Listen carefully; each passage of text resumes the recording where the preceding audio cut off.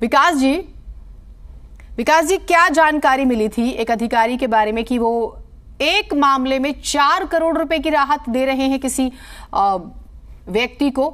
और अगर ये एक मामला है तो फिर तो दिल्ली में एक बड़ी आबादी जो है हाउस टैक्स पे करती है। तो जरा बताइए, कोई डाटा हो, कोई नंबर हो आप लोगों के पास जो आप रखें? जी एमसीडी चुनाव से पहले भी मैं जब आपके चैनल पे आता था तो मैं एक बात हमेशा कहता था कि एमसीडी में अगर भ्रष्टाचार खत्म हो जाए तो एमसीडी में पैसे की कोई कमी नहीं। और उसमें एक डिपार्टमेंट हाउस टैक्स है, जिसमें बहुत बड़ा करप्शन पिछले 20 साल से 17 साल से होता आ रहा है। और जिन्हें जी 2004 में ताकि लोगों को सहूलियत हो और बर्डन कम होता है एमसीडी एक सेल्फ असेसमेंट स्कीम लेके आई, जिसमें खुद सेल्फ असेसमेंट करके टैक्स भरना होता है। लेकिन उसमें एक क्लोज भी था साथ में कि एमसीडी के अधिकारी हर साल कम से कम 25 प्रॉपर्टी को जाके खुद चेक करेंगे कि सेल्फ असेसमेंट जो भी व्यक्ति भर रहा सही है या नहीं। मतलब चार साल में सौ की सौ प्रतिशत प्रॉपर्टी चेक हो जानी चाहिए। आज 19 साल में भी आप हैरान हो जाओगे क्योंकि 10 परसेंट प्रॉपर्टियों का भी असेसमेंट नहीं किया गया।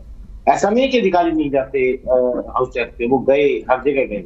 लेकिन वो वहाँ से भ्रष्टाचार करके वापिस आ गए, किसी का भी सही से असेसमेंट नहीं हुआ अभी जो ये केस है, जो आज जिसपे हम डिस्कस कर रहे हैं, जो ए एन सी कुलार कश्यप है, हमें दो प्रॉपर्टी की शिकायत मिली ज़िंदगी जो बहुत प्रभावशाली लोगों की है तो हमने कुणाल कश्यप जी को बुलाया और कहा कि इनको नोटिस देकर उनके असेसमेंट की जाए, इनके जो डाटा है जिन्होंने टैक्स भरा है उसके हिसाब से जो बनता है इनका टैक्स उसके हिसाब से काफ़ी टैक्स कम भरा है हम्म। तो उनको नोटिस दिया जाए उनको बुला के उसकी जाँच की जाए। तो कुणाल कश्यप जी ने हमारे हमारे कहने से ये एक नोटिस सर्व किया आरके क्रम वाली प्रॉपर्टी पे। एक नोटिस हम्म। इसमें साफ़ साफ़ लिखा उनको बारह मई तक का टाइम दिया गया था। बारह मई तक आप आकर अपना जॉब दीजिए अपने कागज़ दिखाइए।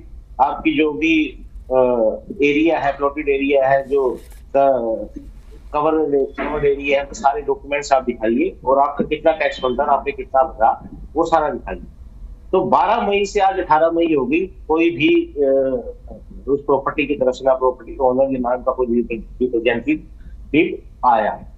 और हैरानी की बात है जी पिछले चार दिन से लगातार कुणाल कश्यप जी को फ़ोन करके हमारे महापौर साहिबा उनको फ़ोन करके कह दीजिए आप आइए मेरे ऑफ़िस में, बताइए कि आपने क्या कार्रवाई की उसको बारह तारीख तक का टाइम दिया था तो वो क्यों नहीं आया?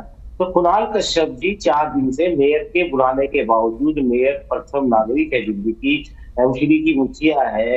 मेयर के बुलाने के बावजूद कुणाल कश्यप जी मेयर के ऑफ़िस में नहीं आई उनको दूसरी प्रॉपर्टी बताई गई।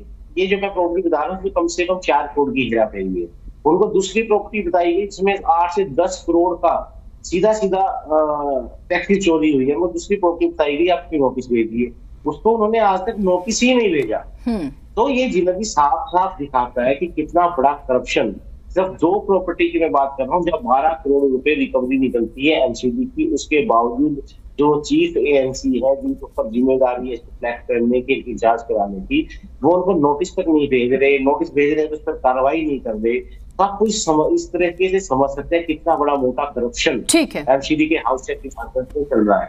और इन अधिकारियों को गिरगी आज जो महापौर मोर्चा ने कदम उठाए अधिकारियों को अब एक बात को समझनी पड़ेगी अब बीजेपी की गवर्नमेंट अब नहीं है। अब आम आदमी पार्टी की सरकार है और ये अरविंद केजरीवाल जी कट्टर ईमानदारी की सरकार चलाते हैं तो इन अधिकारियों को समझना पड़ेगा इनको बदलना पड़ेगा और ईमानदारी से काम करना पड़ेगा। ये तो आज पहला उदाहरण है आज शुरुआत है। तो मैं आपके चैनल के माध्यम से सभी अधिकारियों को कहना चाहता हूँ कि आज जो हुआ है उससे आप सबक लें और सब सब जो भी पिछले सत्रह साल से चल रहा है, वो नहीं चलेगा और आप लोगों को ईमानदारी से काम करना पड़ेगा। चलिए, ठीक है ठीक है।